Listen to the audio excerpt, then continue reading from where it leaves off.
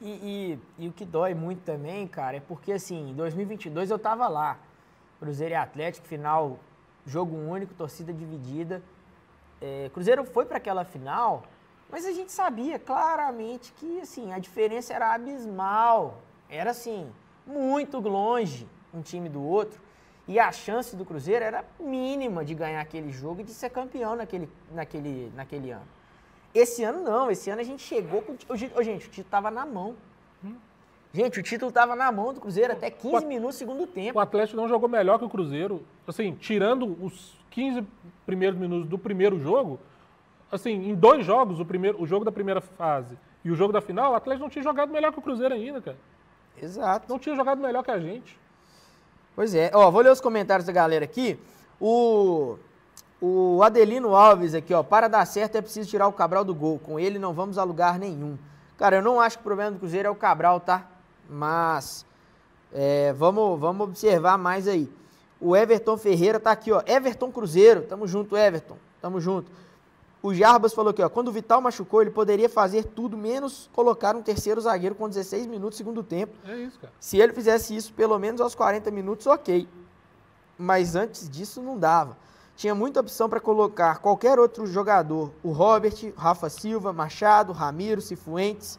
O DR7 complementou aqui com o Barreal, com o João Pedro, se tivesse ido para o jogo.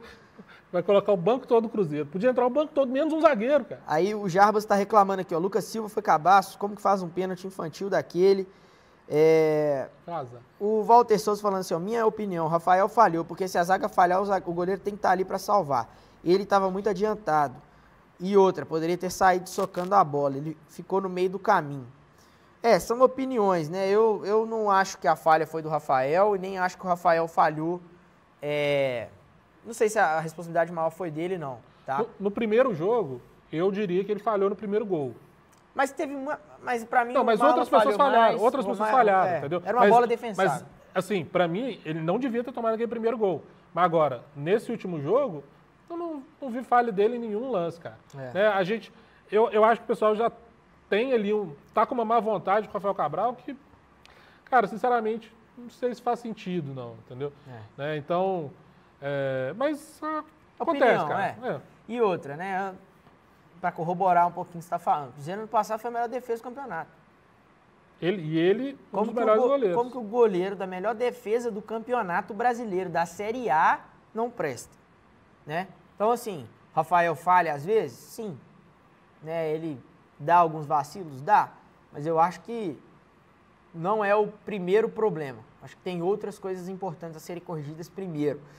Galera, é, o MC Milk de Belô colocou aqui, ó, não podia ter perdido. Cara, com certeza, é o ah, sentimento tá, tá de todo mundo.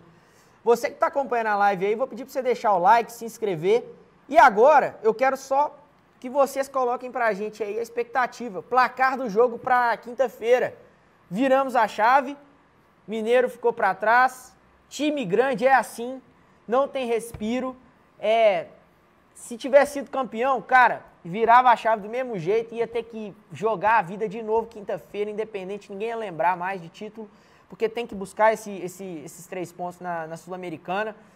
Depois já tem estreia no Campeonato Brasileiro contra Botafogo, que foi né, vice-campeão ano passado. Foi vice, né? Foi vice. O terceiro. Não, vice foi. Ah, não, ele foi quarto. Ele, ele foi quarto. Ele foi, caiu, né, mano? É, mas foi, foi líder do campeonato é, ano liderou, passado. liderou o campeonato quase inteiro, né? Então, campeão, ó, jogaço importantíssimo para o Cruzeiro no domingo. Né? Já tem o Atlético de Bom novo. Nós. Tá. Na próxima, no outro sábado, dia 20, lá na Arena, meu rival venceu de novo. Então, assim, não tem tempo de respirar. Então, eu queria que você já deixasse aqui pra gente o placar que você acha para esse jogo. E aí, vou pedir o Dylan para colocar aqui na tela, Dylan, imagens do treino de hoje.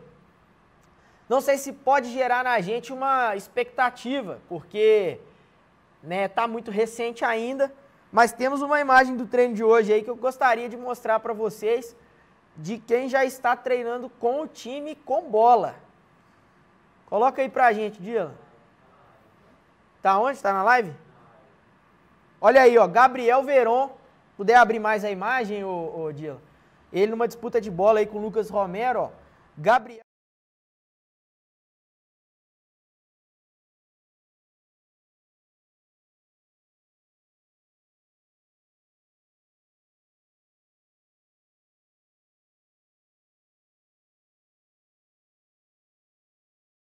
que fez muita coisa no Palmeiras, que tem um currículo bom na base, que jogou na seleção. Olha aí a foto, ó, ele numa disputa de bola com o Lucas Romero ali, ele tá com colete, o Lucas Romero sem colete, provavelmente ele no time reserva e o Romero no time titular. Mas só de ver ele em campo ali, tá com uma faixa no joelho também, né? Mas uma bandagem ali.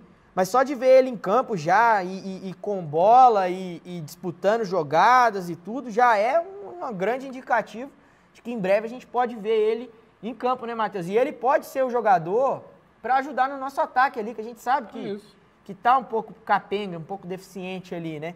Então queria pedir para você que está acompanhando aí comentar o placar do jogo de quinta-feira, Cruzeiro e Aliança no Mineirão, 21 horas. Quanto você acha que vai ficar? Matheus, quanto você acha que vai ser esse jogo? Samuca, sim. A gente sabe que 1 a 0 já a gente já ia estar tá feliz, né? Mas, poxa, um, pelo menos uns 2 a 0 Cruzeiro. Vamos, vamos trazer uma vitória tranquila para casa, sem, né, sem a gente precisar passar aperto, ficar ali vendo o que, que vai acontecer, né? Uns 2 a 0 tranquilinho, sem que, que possa dar um, um começo de trabalho muito legal para o Seabra aí e uma confiança também para essa essa nova fase. Dois jogos no Mineirão e, poxa, se terminar 2 a 0 eu vou ficar muito feliz. Ficar muito feliz. Boa! Você que está acompanhando a gente aí, quanto você acha que vai ficar o jogo quinta-feira? Coloca pra gente aí. O William Clério comentou aqui, ó. Ele, não, ele falhou. Se ele não desse três passos à frente, ficasse no gol, ele pegava a bola. O cabeceio foi da grande área, muito longe. Mas, mas se ele não sai e o cara não entra, aí iam falar que ele não saiu. Né? É o que eu estou falando. Gente, tem, tem que medir ali, né? Quando você vai, você vai fazer uma crítica, você tem que pensar que, cara, hoje estão criticando tudo que o cara faz.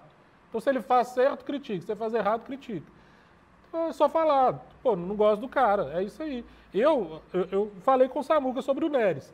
Eu falei, cara, o Neres, ele tá em campo, me dá uma agonia, eu acho que vai dar tudo errado ele foi bem no lance do Hulk, mas foi um lance que ele criou. É. Entendeu? Que ele falhou e aí ele foi bem e o Hulk foi mal.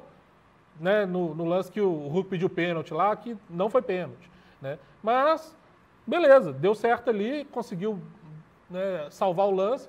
E, cara, para mim, ele tá sempre colocando a gente enrascado. Então, é questão de opinião.